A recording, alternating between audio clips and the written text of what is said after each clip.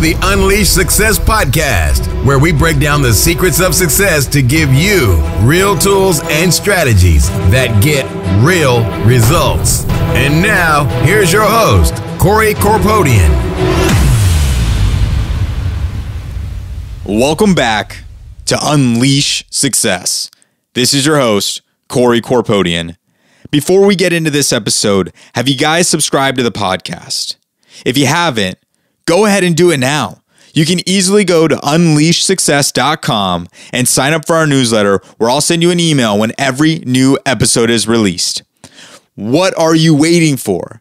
Two weeks ago, we had Alex Brown on here dropping tons of tips and strategies on how to build a business from startup to scaling it and walking us through his $10 million first year journey with Dollar Beard Club. Last week, we had Sam Parr, CEO and founder of The Hustle, which is one of America's fastest growing media companies, delivering news to nearly 700,000 people every single day via email. So if you haven't subscribed, go to Unleash Success and join us now. So, in today's episode, we're going to jump out of the busyness of work and life. And instead of just drifting or floating or feeling lost, we're going to take a deep dive of self reflection and look at what do we really want out of life? What are we actually fucking passionate about?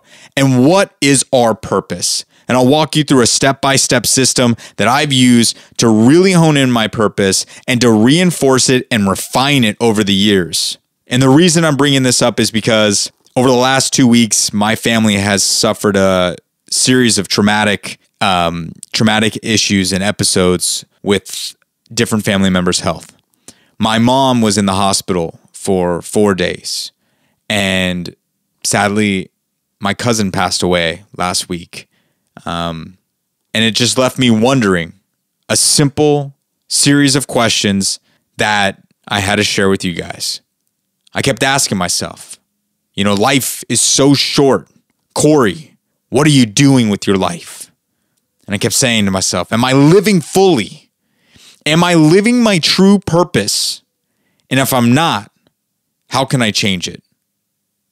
Okay, so today we're going to go over a few things that I believe will help you find your passion, the step by step process I use to refine and redefine my purpose in life as I grow and as years go on.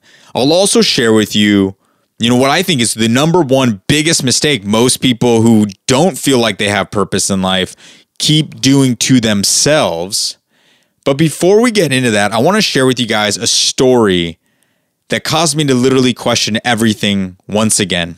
And it's ironic because, in turn, at the end of this tragedy, it only reinforced why I do everything I do and made me feel even more passionate and grateful to be doing what I'm doing. You see, in 2017 and 18, I've been extremely focused on my goals. You know, my business is going well. This podcast has been going incredible. You know, just last week we had well over 500 downloads. I'm so grateful for you guys, each and every single one of you who's listening to this. And, you know, I'm writing a book. I've been writing that. It's a, an incredible book that I'm super passionate about because it talks about emotional fitness and how to apply these tools and strategies to get what we want out of life. And then last year, I did 10 motivational talks to really help others. So I've been pushing super hard to get things done. To top it all off, earlier this year, I started training for a grueling men's physique, kind of like bodybuilding competition. I used to do them four years ago before I got skin cancer. You know, it kind of knocked me out of it. And my girlfriend wanted to do a bikini competition. So I said, hey, listen, why not? We're doing everything else. Let's throw it back on there. But what I didn't realize is that sometimes when you're trying to balance all this stuff, we lose time. And, you know, what's really most important to us? To me, I want to make an impact. So, my book, this podcast, motivational speaking, these are things that I feel really make an impact. But even above that, it's my friends and family, especially my family. And that's when I got the wake up call. Literally, I was sleeping after training for three hours because I'm doing a ridiculous amount of cardio and working out, trying to get this six pack ab thing that you need to try and win the trophy for this competition that you don't get paid for. You don't make any money. And literally, it's just like, uh, hey, I look good type of competition. Wish me luck. But literally, I was woken up out of a nap, which I never nap, and I was so exhausted, to my mom calling me. She was in the ER immediately I knew something was wrong. And in a matter of three minutes, she told me that she was being treated for a stroke. And I said, What do you mean you're being treated for a stroke? And she said, My my left hand fell asleep. And so, you know, I didn't think anything of it. I went around for three hours and then I drove myself to the ER. And I'm like, Your left hand fell asleep. What do you mean? She's like, Here, the doctor wants to talk to you. I'm talking to the doctor who's talking to the neurosurgeon through a camera on a TV in the ER. And they're telling me that my mom shows all the signs and symptoms of a stroke. Then they tell me we have to administer a drug that, if we administer within four and a half hours of the stroke, it will eliminate or potentially completely eliminate the, the blood clot that caused the stroke. But if we miss that window, it'll be ineffective. The risk is that there's a 3 to 5% chance that her brain will bleed and all the complications that go along with that. And I said, Did you guys do a scan? Is there any evidence? And they said, We did a scan, but the clot might be too small for us to see it. If we don't do anything now, she could basically be paralyzed from her left arm down. And in a matter of minutes, I'm freaking out. I go from shock to denial to how could this happen to, oh my God, is my mom really asking me to help her with this decision? And in a moment, I realized we had only one thing to do. And I said to my mom, or my mom asked me, she said, what do you think we should do? I said, I don't think we have a choice. Let's administer the medication now. I raced over to the hospital. I see my mom. She's got a heart monitor on. She's got, you know, two IVs in her arm. She's got these cables and wires all over her place. Things are beeping, beep, beep, beep, beep. There's two nurses running back and forth, running tests every 15 minutes to make sure she's basically mentally with it. They're pumping medication into her every five minutes. There's doctors coming in and out, medical personnel coming in and out. And she's lying down there, and I can just see the fear in her eyes. And I break down emotionally. You know, it's it's one thing to have a bad day, but this was real. There was a very real possibility that my mom was having a stroke. There was a very real possibility that there was something very, very wrong with her, that there was a clot in her brain, and that she might never gain the use of her left hand again, and that worse, she could die or be paralyzed. You know, I am so grateful and so lucky that we administered the medication and that she's well on her way to a full recovery. I mean, it's amazing, but she spent four days in the hospital. And this really made me think, you know, what do I want out of life? Am I living fully? Oh my God, am I spending enough time with my family and my friends? Am I really doing what I say is most important to me? Or am I just doing life? Am I just going through the motions and saying I have to do things you know, I I'm working this hard so I can provide for my family. I'm working this hard so that I can give, you know, nice gifts or so that I can live in a nice house or so that I can do these things and contribute to society, but I'm not actually spending any time with them. You know, this was a wake-up call and it scared the shit out of me. I got to tell you, I have not been that scared in a very long time. And I'm incredibly grateful that my mom's alive. And if that wasn't a close enough call to make me rethink life, rethink what I'm doing with my purpose, I got a call a week later. My cousin was running on the treadmill at 41 years old and he died of a heart attack. This guy, I mean, I I played basketball with as a kid. He ran a stereo equipment business and he installed my first sound system in my car and was always a jokester and always making fun. And, you know, um, I look back over the years and we went to this boat parade and somehow managed to be in the boat parade before the police cops told us we had to get out of the boat parade and and he's gone. He's gone. You know, and it's it's crazy because life is so short. It is such a gift. And I'll never see my cousin alive again. I'll never see him. I'll never get to say hi or bye. And it makes you put perspective on life. You know, you're stressed out right now because you're running late to work. You're stressed because you aren't making enough money. You're stressed because you don't have the right relationship or the best job or, you know, you're not really sure about what to do with your life. At least you have the opportunity to figure it out. And I realized that I've got to live my life more fully, that I've got to push my life to the limits in every area of life, not just business, not just money, because money is empty. Money is only a vehicle to allow you to do other things. I've spent more time with my loving family in the last two weeks in these tragic moments, creating unbelievably amazing memories than I have in years. And I'm grateful for it. And I'm not going to lose that either. Now, I'm not going to say that I'm not going to work hard towards my goals and dreams because I the next thing that I want to do besides spend time with my family is leave an impact on this world to really truly inspire and help people. You know, people sometimes ask me why I'm so driven to do that. It's because I spent 8 years of my life living in pain. I spent almost a decade of my life not living. And when I finally figured it out, I became what I finally always wanted to be, which to me was successful. How I finally redefined success in my life. And to me, to share that with other people like you, that's the best thing in the world. And man, do I feel grateful. My cousin is 41. He should have lived a whole nother life. So it made me stop doing things all the time. I stopped doing and I started thinking. I started just being. And then I reevaluated. I asked myself those questions. What am I doing with my life? What are my goals? I'm not going to play small. I'm not going to downgrade my goals to others' lower expectations. I'm not going to lower my goals so that people won't be afraid that I'll get hurt. Yeah, maybe I'll get pissed sometimes that I'm not achieving my goals, but you know what? That anger for a moment drives me. And then really what I realize afterwards if I do let those emotions get out get the best of me, is that I was using those emotions to positively impact myself and others. Is that you know what? At the end of the day, I'm grateful that I got upset because it drove me to do more and help more people. It drove me to leave a bigger impact. What do you want out of life? What do you want to do? Do you want to go to Australia, Thailand? Do you want to go see a pro football game? Go wine tasting? Or do you want to leave some impact? You know, because when we die, when I die, all my memories, they're going to die with me.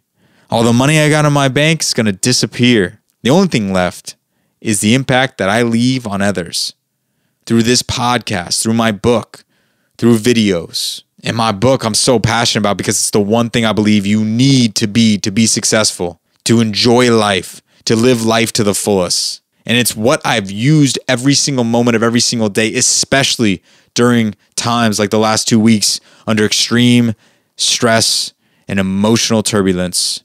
And that, my friends, is the power of emotional fitness. Emotional fitness helps you get your mindset right. It's the one thing you need to not only survive, but succeed in life. First of all, what are you doing with your life? Man, I tell you, I'd asked myself that question since I've been 17 years old. My dad always told me, Corey, you wanted to be a dentist. I wanted to be an orthodontist. I wanted to do braces. Honestly, I don't remember saying that, but it doesn't matter. I still ended up becoming an orthodontist. But I kept asking myself, what am I doing with my life? And you know what? I found that the number one biggest mistake I see most people make when it comes to finding something they're passionate about or what their purpose in life is, is they sit there in this huge, vast world waiting for their purpose to smack them in the face. Do you think it's that easy? Do you think it's just going to find you? In a world of nearly 7 billion people, do you think your perfect purpose is just going to wander around and walk right in front of you like a gift and say, Here, do this and you will be happy, fulfilled, and successful for the rest of your life. And that's really what the biggest mistake is. Or you know what? Some of them hope to find their purpose in their life. Like it's like it's inside them this whole time. Like the purpose of my life is inside me, but I can't find it. If it's inside you right now, where is it hiding? What dark corner of your mind is the truest purpose of yourself hiding that you cannot find it? The key is it's not hiding. And we're going to go over some ways to find your purpose. And the other mistake that people make when looking for their purpose is they hypnotize themselves by saying, I have no idea what I want to do, or I don't know what I want to do. And what happens is people hypnotize themselves into thinking they don't know what they want to do, into thinking that they will never know what they want to do. They spend years not knowing what to do. So, what the fuck do we do, Corey? What do we do to find our purpose if all we know is we don't know what to do? Well, good thing you're listening to this podcast, guys, because I am about to tell you. Instead of waiting for your purpose to find you, instead of looking into the deep, dark corners of your mind and coming up empty, you have to take action. You have to cultivate purpose in your life. Like a farmer plants a seed to grow a crop, and he waters it and nurtures it and grows it into an amazing, beautiful crop that then they can harvest. You too have to cultivate it. You've got to plant the seeds. You've got to put these seeds in the ground. And what I mean by doing that is you've got to try multiple different things in your life and plant those seeds because sometimes finding your true purpose takes time. Sometimes you've got to commit to certain things for a period of time to harvest it to see if you really enjoy that crop. What if that corn just tastes like shit? Are you going to grow it again that same way? Probably not. And that's the same way with your purpose. You know, people might say, Corey, this is easy for you. You've always been driven. You know what? True. I have been driven most of my life. You know, people think I knew exactly what I wanted out of life. They think I knew exactly what made me happy, exactly what my purpose was, and that's just bullshit. I was driven for years by one thing and one thing only money.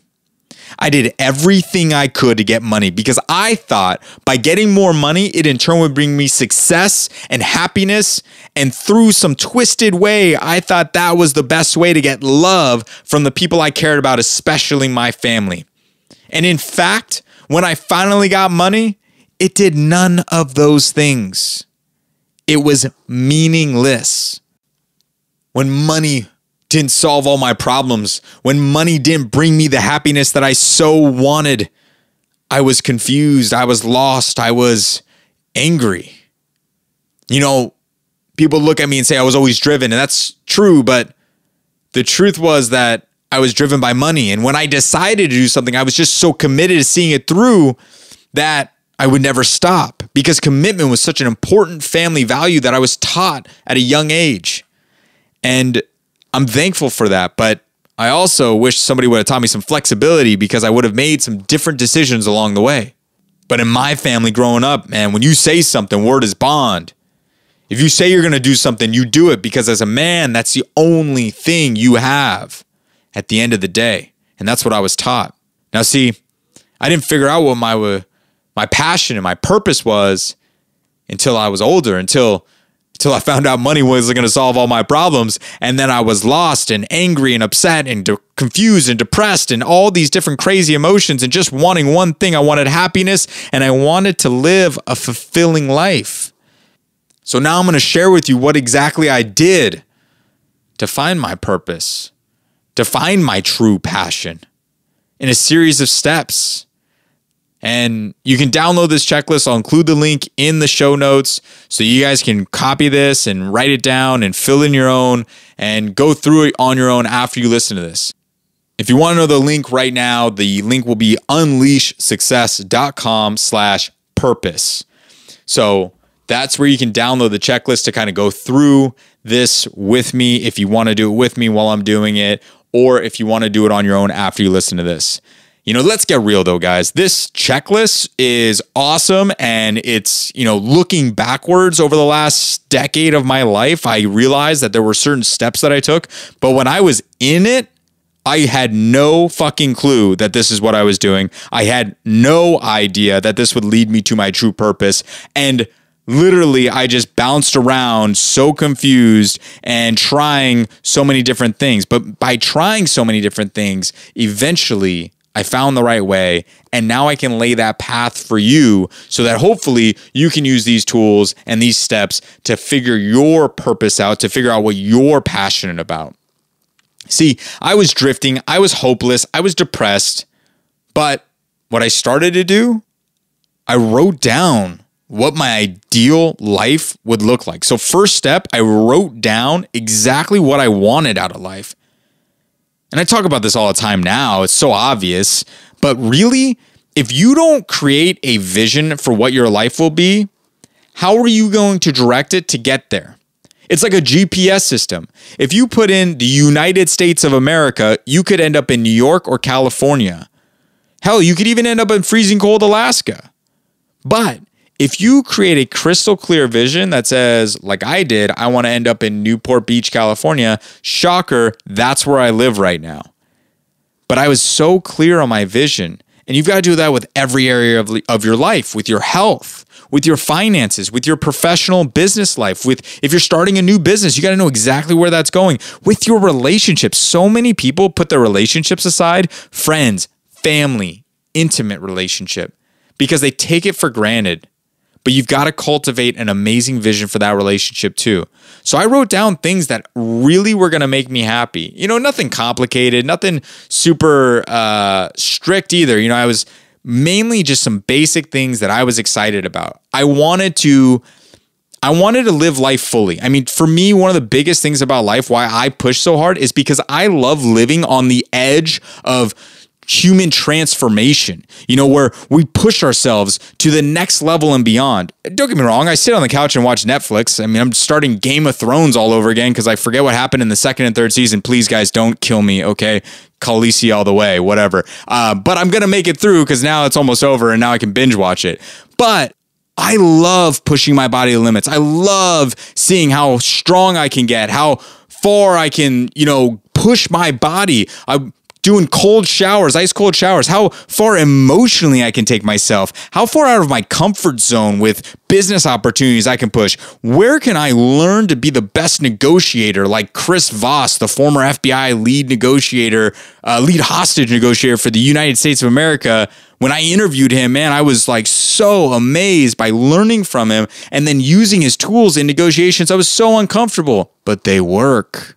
And these are things that I love to do. I love pushing myself mentally, emotionally, physically. That's why I'm jumping on stage in a week to go compete for this. So to me, that was part of life. So I wanted to grow and I also wanted to inspire other people. I have done so much shit for myself that at the end of the day, I woke up and it meant absolutely nothing. I remember when I bought my dream beach house and I tried calling my parents, calling my sisters, calling my girlfriend at the time, and I couldn't get anybody on the phone. And I was just sitting there in this huge house by myself going, man, like, what was this for? Like, I guess this is cool, but if I didn't have anybody to share it with, it wasn't very meaningful. And that's when I realized truly that We've got to give back. We've got to share our experience with other people. First, I like to share it with my friends and family, but man, I got to tell you, I had friends and family asking me for advice, and then all of a sudden, random people asking me for advice. And that's when I started getting into motivational speaking, giving talks for kids and communities, for you know, uh, personal development seminars, the Marines, corporate outings with 500 plus people. And oh my God, when I started to contribute at that level, that's when I realized that's the juice of life giving back to other people. But first, in order to give back, you've got to make an impact in your own life first. And that's what we're here today to do. We're here to give, figure out that purpose, but you got to try things. And that's, to me, I've refined this. So this is things that I want in my vision now. When I was younger, I was just trying to be the best me because if you're the best you, you're going to inspire a lot of other people around you. So start there. The second thing you got to do is you got to try a lot of things. I mean, guys, yeah, I went to dental school at 20 years old. I graduated from my orthodontic residency at 26. I'm board certified orthodontist. You know, I'm super young, but I tried a lot of other things along the way. Do I wish I slowed down a little bit? Sure, definitely. But I did a couple years of acting. I was an indoor skydiving instructor, Vegas indoor skydiving. God, that was an awesome job. And I eventually ended up going through dental school, but it was because of my commitment and my inability to be flexible to change that I didn't step outside of that. So when I finally got out of residency, I started searching again, trying new things. I tried, you know, opening up my own business. I tried doing real estate, made some money doing some real estate flips. I started doing um, bodybuilding in the men's physique com- competition. It's not full bodybuilding, it's men's physique. And I won a few of those. And that was interesting for a while until I stopped doing that. And then I got really into personal development. And that's when I found some of my true passions public speaking. And then interviewing people on the podcast. God, I love learning from these amazing people. And, you know, also too, writing this book, I'm just like sharing my information, sharing my story, helping people. This has given me the juice of life. And it didn't start that way. I mean, God, five years ago, I bought a, a screen printing press because I thought I was going to make a t shirt company for crying out loud. I just wanted to make some money. I wanted to be an entrepreneur. I wanted the freedom, but it didn't work out for me. So I chose something else. And I've tried so many different things. I mean, I tried a, uh, a whitening you know, uh, subscription club business, and that didn't work out. And I've tried so many other things where I poured all this money and time and energy, and and then literally ended up with nothing, nothing at the end except the experience, except knowing what I wanted to do later on. In fact, it's funny how acting in college gave me the stage presence, gave me the awareness of the audience, gave me the ability to engage at a high level, and I didn't realize how much that was going to help me with my future passion of public speaking. And so everything we do eventually leads up to our true purpose, but you've got to keep going. You've got to keep looking for it. So that's number two. Now, number three is you've got to commit to some things, though, right? You can't just try things once. The first time I ever tried indoor skydiving, I sucked. And if you've never met me, I hate sucking at things. You know, some people like to win. I hate losing. I just think that is the worst thing in the world. And I tried this indoor skydiving thing and I was so bad. And then, you know, these girls who are 10, 12 years old, 15 years old, who jump in with the group next to us, they're flying no problem. I'm sitting there and I'm like 18 going, what am I doing wrong? And I hated it. I didn't even want to go back. But I am so glad I did because it was one of my favorite things in the world. But if I had never gone back, I would never realize that. I never would have got a job there. I never would have met all these amazing people and I never would have grown. So you got to commit to doing things more than once. You got to commit to trying them long enough to really harvest them, right? We, we plant all these seeds, but if you plant all these seeds, you do all this work and you never get to see the harvest, how are you going to know whether you like it or not? For me, that's typically a commitment of three to six months. You know, sometimes it needs a year but three to six months to truly figure out whether or not you enjoy that or whether it's just a hobby. Or you know what, something that was an interesting experience, but you're moving on. I don't want you to make the mistake of letting it consume your life though. For me, that was orthodontics. You know, I let that consume my life for 15 years. I never tried really anything else. I tried acting for a little bit, but when I went to dental school, I spent the next seven years only doing that. And so put a time limit on it. And that brings me to number four after that initial commitment period, you got to be flexible enough to say, hey, this is either for me or it's not for me. I didn't get that down myself. In fact, I screwed it up completely. So there goes 10 years of my life. But you don't have to make that same mistake. In fact, you can say, I'm going to do this for the next six months. I'm going to be the best real estate agent in the world for the next six months, or I'm going to try to do everything I can. Or for the next six months, I'm going to dedicate my life to learning, doing, and being public speaking. Or I'm going to dedicate my life to learning, doing, and being web design. And instead of committing the next four years of your life and waking up one day and going, why did I just do that? Spend six months, work it out, tough out the tough times work hard, and reap the harvest, man.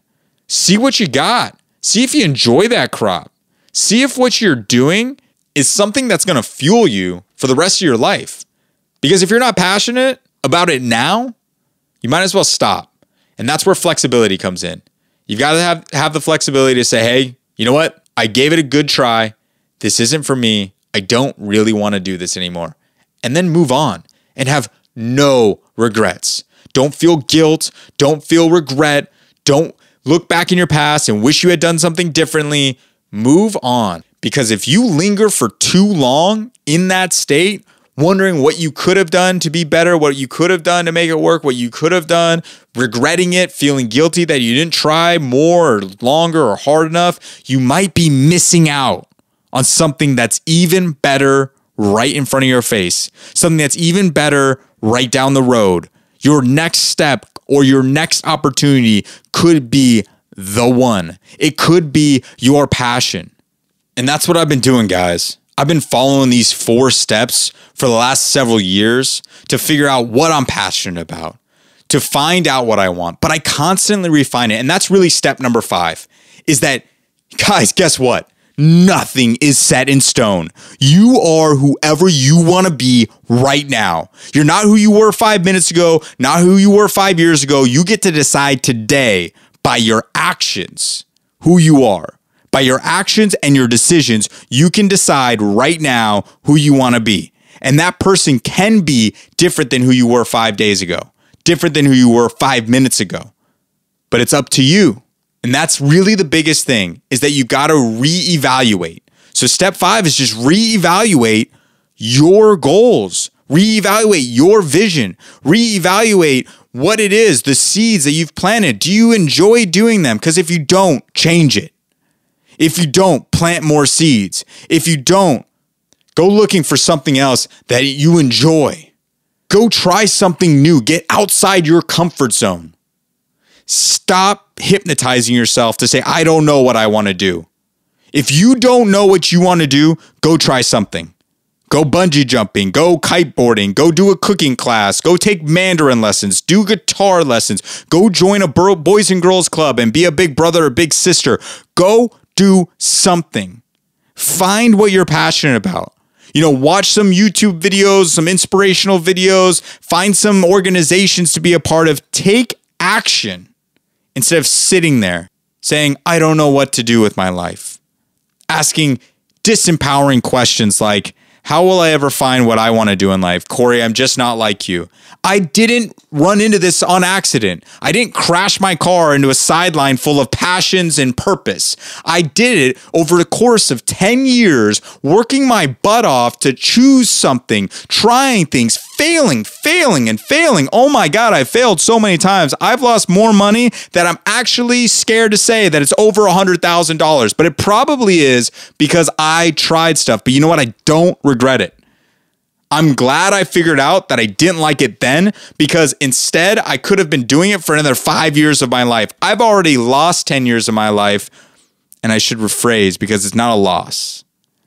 I learned. But I don't ever want to learn like that again. I don't want to ever spend 10 years doing something that I'm not crazy over the roof passionate about so that I could figure out that out of that much pain, I finally have the courage and the discipline to change my life, the will to find something, the desperation, the need to do it. Don't let yourself go that far down the rabbit hole. Dig yourself out right now by just taking action. If you ask yourself a question like, oh my God, what am I supposed to do with my life? Instead of saying that, I, t- I, have, I ask myself a disempowering question. Trust me, it happens. I tell myself, you know what, Corey? Shut the fuck up get back to work, do something, take action. That's what I need to tell myself. I don't know if you need to be that aggressive with yourself. You might accidentally slap yourself in the face for talking to yourself like that. But hey, guess what? For me, it works. So that's what I do. And if I ever find myself asking a disempowering question, I take action. I highly recommend you do that. I highly recommend you plant the seeds. I highly recommend you harvest them. Give itself Give it time so that you can reap the reward and then decide whether you like it or not. And of course, have flexibility. After your commitment, be flexible enough to say, hey, you know what? This is not for me. And then reevaluate your vision, your goals. Write down specifically what you say you want. Because if you don't write it down, trust me, in your mind, it gets very confusing and lost. I love it when I write down my goals and I see it because clarity is power. When I see it on the paper, I see it in my mind more clearly. When I look at it again over and over and over again, I see it even more clearly. And guess what, guys? In a couple sessions here, I'm going to be going through a goal setting workshop that I believe has been so powerful for me to accomplish all of my goals. And I want to share that with you. And as part of that, I'd love it for you guys to go ahead and write down three things that you want out of life, three goals that you want out of life. Now, we don't have to know what your purpose is right now. Don't put so much pressure on yourself, okay? Sometimes we just don't know what our purpose is, and sometimes we've got to go plant those seeds reap the harvest, and then we figure it out slowly and refine it to get closer and closer to our true purpose. But it starts by having goals. So for right now, write down three goals, and then we'll go through a process next time where I'll walk you through what specifically you need to do to clarify those goals, what specifically you need to do to make sure you accomplish those goals, find out exactly what's stopping you from accomplishing those goals, annihilate that obstacle, eliminate mental blocks, and yeah, achieve your goals probably faster than ever before. So until next time, guys, live life with purpose because as I mentioned earlier in this podcast, we never know when our last breath will be. Practice gratitude. I've been practicing that every day. I've been walking out to the beach every morning, eating breakfast, and I'm shedding tears, you know, tears of sadness, tears of joy, of gratitude, because I'm just so happy that I have the opportunity to live, that you have the opportunity to live, because we never know when our time is up we just never know when our last breath will be our last. And um, I'm not stopping, guys. I'm not stopping this podcast. I'm not stopping pushing to be the best version of me ever. I'm not in competition with anybody but myself from yesterday. You know, I just want to be better than who I was yesterday. And if every day, if I improve on something, if I learn something, if I make a mistake and I screw up, but I learn from it, I, I feel like I'm improving. And as I ask myself, what am I doing with my life? What am I living for? What is my true purpose? I discovered that I'm just reinforcing what I am doing. And through that reinforcement, I became even more passionate about helping people. I became more passionate about the podcast. I became more passionate about emotional fitness. And if you want to learn more about emotional fitness, you guys can go to the website, unleashsuccess.com. Uh, there's a, a opt in that you can get an email for a 10 day emotional fitness challenge to develop the mindset you need to accomplish your goals. And you can always email me, Corey at unleashsuccess.com, or connect with me on Facebook or Instagram. But um, all those links will be in the show notes. But basically, I'm just realizing that this is my purpose, that I love talking about this stuff, that I'm super passionate about it, and I've seen it help so many people. I know it can help people, and I've just got to get the word out there. So that's what I'm doing. What are you doing? Go plant those seeds. Be grateful for the opportunity you have to live life because life is a gift and we never know when it's going to end. And stay committed enough to reap the harvest and then figure out what you like. Be flexible enough to change it. Look back at your goals and go set some goals for me, guys. Until next time, I'll see you then. Thanks so much. If you guys enjoyed the show and learned something of value, the one ask that we have is please go subscribe. If you'd like to leave us a five star rating and review, that definitely helps us get our message out there. Because each week I'm going to interview amazing people, and I want to be able to give you more and more tools and strategies that get you real results. Feel free to connect with me on Facebook or Instagram at Corey Corpodian or just visit the website at unleashsuccess.com. Remember, knowing is not enough. Knowledge alone is not power, action is. Because action is the only way to get the results you want in life and truly live the life of your dreams. So go take some action, subscribe to the podcast, and get ready to unleash success in you.